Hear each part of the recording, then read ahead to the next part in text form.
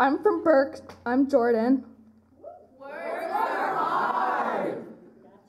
One minute.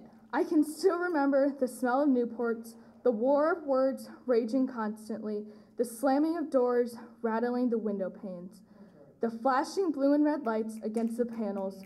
I watched my home fade away in the back window of the car. The cheap one story house with red glass trinkets adorning every room. The family I thought I had, never to be seen again.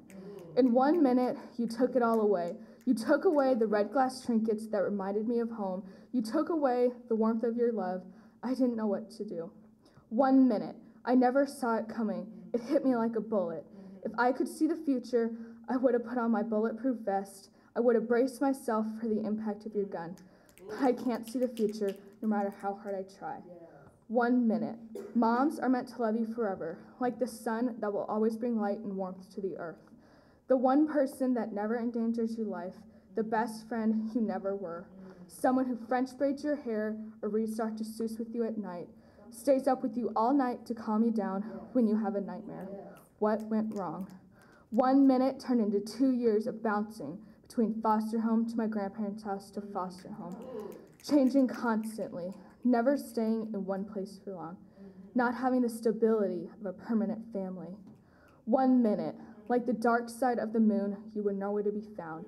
You weren't there when I said my first word or when I learned how to ride a bike. And you weren't there when I got my first crush, and you never went to any of my concerts.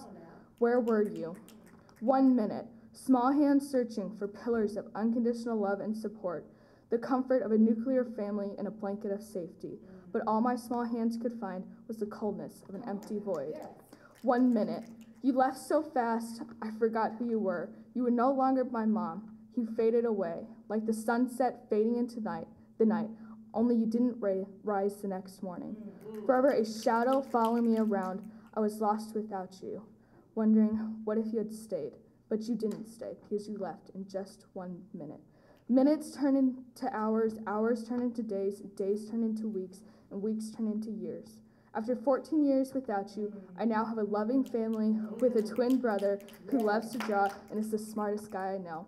We had to navigate the world without you, learning how to survive together, and I love him with all of my heart.